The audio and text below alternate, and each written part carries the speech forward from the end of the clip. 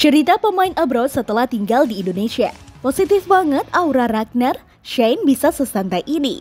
Momen-momen kebahagiaan pemain timnas di Indonesia.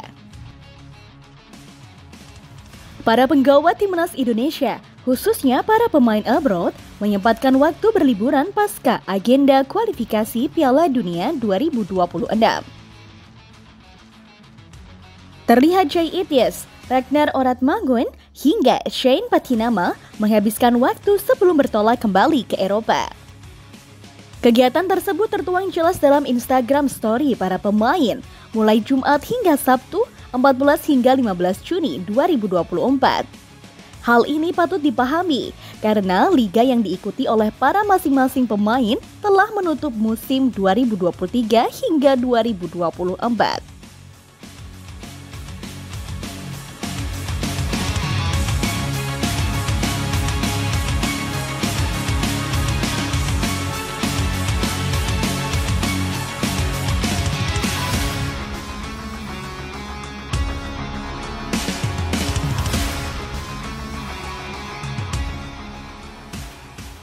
Maka agenda libur menjadi wajib pasca melalui padatnya musim kompetisi. Adapun jadwal musim depan 2024 hingga 2025 akan dimulai pada sekitar Agustus 2024 mendatang. Bahkan hal unik dilakukan Ragnar Oratmangun, yaitu mencari keluarga besarnya yang saat ini berada di Maluku. Memang sebelumnya Ragnar juga telah berlibur di Bali terlebih dahulu, menyusul Shane Patinaba. Tampak dari IG story-nya, Ragnar mengunjungi kampung halaman leluhur di sekitaran Pulau Maluku. Diketahui darah Indonesia mengalir dari ayahnya yang lahir di Larat, Maluku 3 November 1925 silam.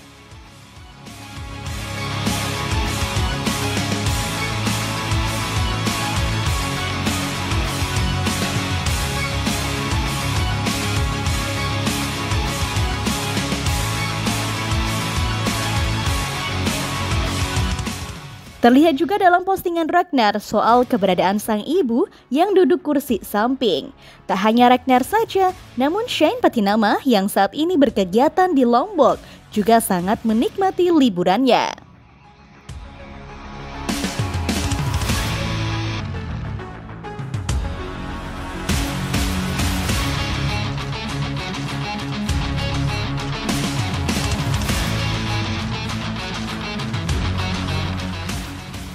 Di Instagram milik Shane sendiri, tampak dirinya membagikan kebahagiaannya saat berada di Pink Beach serta Pulau Komodo yang saat ini menjadi tujuan para wisatawan asing.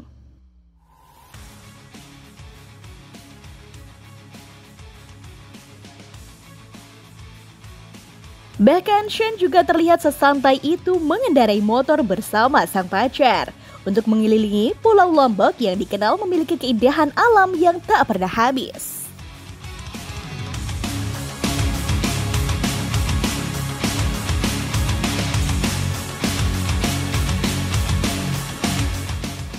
Begitupun Bang Jai dan Tom Haye yang menikmati masa liburan mereka di Indonesia. Dan mereka kompak berlibur di Bali karena Jai serta Tom Haye memang memiliki agenda yang sangat padat sehingga mereka berdua baru bisa menikmati masa libur mereka saat di Bali. Dan setelah beberapa hari melakukan perjalanan di beberapa tempat wisata, mereka menceritakan bahwa orang Indonesia sangat humble serta ramah kepada orang yang baru kenal. Mereka akhirnya sadar ini negara yang sebenarnya mereka cari.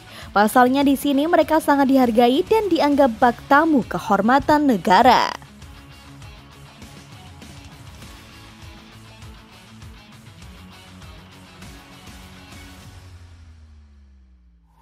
Mereka seperti sudah merasakan bahwa Indonesia rumah mereka. Ini membuktikan bahwa mereka selama ini memang memimpikan tempat untuk pulang yang sesungguhnya. Saya harus akui tinggal dan menetap di sini adalah impian dari semua orang karena di sini memiliki semuanya. Jadi jangan heran jika banyak warga asing yang memutuskan menetap di sini dalam jangka waktu yang lama. Ucap Zay Ityas kepada wartawan.